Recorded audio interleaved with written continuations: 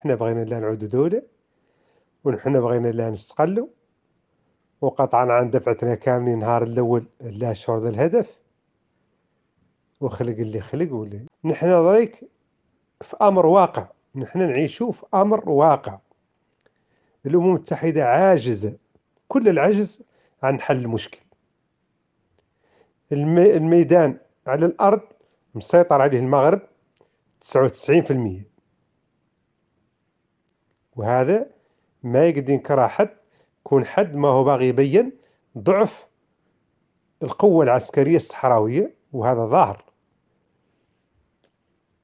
راك شفت مدة عام وأربعة أشهر ما هي ثغرة ما هو أسير ما هي وثيقة ما هي ما هي آه، حرب ذيك هي اللي قال لها الحرب. يعني قصف وأنت عارف حرب حرب استنزاف ومرحلة حرب الاستنزاف وتعرفها جيدا إذا ما هي اللي تحقق شيء؟ اللي تستنزف أنت القذائف المغربية راهي تم تقرع عليك إلى واحد في الآخر. لا هي تقتل واحد اثنين في ذاك القصفة ثلاثة أربعة. إذا ما قدك محمد يجيبوا لك حماد. وراك شفت أنت وتقولها بلسانك ويقول يقولها كل واحد مناضل يقول أولاد المغاربة يرتاحوا في البحر. هذوك اللي يرتاحوا في البحر يلوحوا لك في الرب.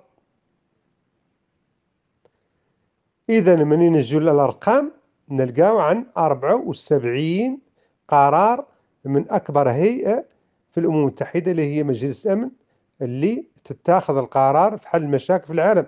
74 قرار في قضية الصحراء. و134 قرار في الجمعية العامة الأمم المتحدة. الجمعية العامة للأمم المتحدة ضريك ماشيين في 13 ولا 14 مبعوث خاص ينشر يرسل للمنطقة ما في هذا الصيد اللي جاي جاي ضرك وما هو جايب شيء قطعا انه تابع أصحابه.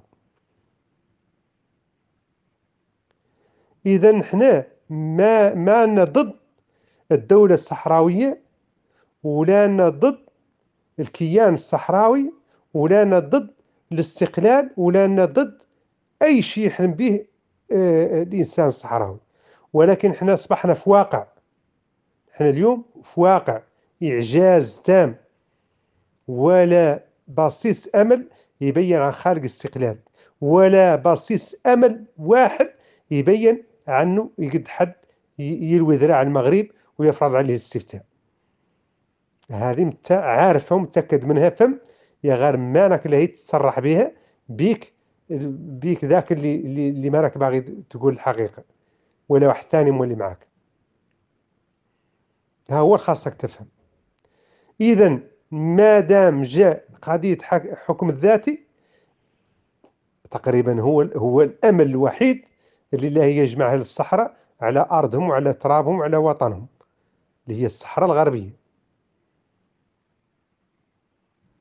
ولا يستفادوا من خيراتهم ولا يبنوا كيانهم ولا يشتركوا مع أخوتهم اللي في وهذا وهذا غير هذا الا سمحت لهم الا سمحت لهم الجزائر. الا سمحت لهم الجزائر.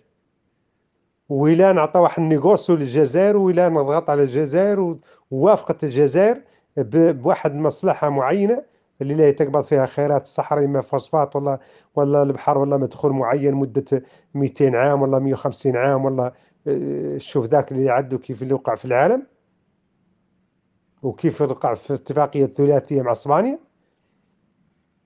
نظن عنه مني توافق الجزائر عن جبهة البوليسارو اللي هي توافق. وقطعا عندك القيادة منين تقول غدا بغينا الاستفتاء ونناقشوا الاستفتاء ونتفاوضوا على الاستفتاء شنو هي طريقته شنو هي كيفيته وشنو هي معالم واضحة قطعا عنكم كاملين تقولوا قالت قيادتنا الراس الشيدة وهذا انتصار وهذا نفس الألفاظ اللي نسمعهم ولكن يا حسن ما خارج حد ضد أهل الصحراء وما خارج حد ضد جمع الشمل ولا يا غير خارج واقع نعيشوه ملموس واضح الأمم المتحدة ما قد حلت مشكل وما هي اللي تحله أكبر حد في الجبهة إبراهيم غالي وصفها بشرطة المرور في قضية القرقارات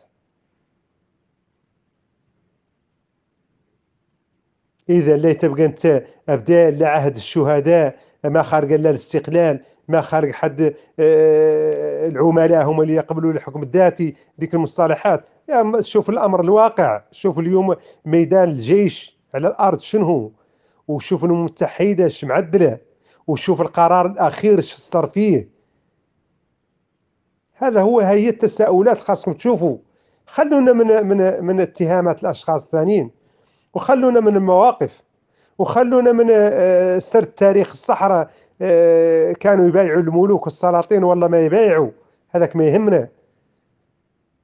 راعي ما قط بايعوا قع ولا قط عن علاقة بالمغرب بأهل الصحراء ولا خارق قرار أممي ما هو ضد المغرب في في الصحراء. ثابت لا عنها كانت لها الصح... كانت لها الصحراء خالية ما عليها سلطان ولا ولا ولا ملك يا غير نحن نشوفوا الواقع اليوم على الميدان على الأرض. يمحي ذاك التاريخ ويمحي جميع البنود. لأنها السيطرة واقعية على الأرض. ويكفي أنه وراها إسرائيل وأمريكا وفرنسا والغرب كامل. وتعرف أنت مولي وراك نطقت بها بأنه اليوم السيطرة للقطب الواحد. يامس كانوا قطبين اليوم عاد القطب الواحد واللي واللي هو اللي بغى يعدل يعدل. وراك شتو شوقع تقول لي دليل راك تياهي بالحزب هذا اللي وقع في فرنسا كذيب. راه جا بولطون كاع جماعة بولطون وجماعة وزير الخارجية الأمريكية وذيك المجموعة.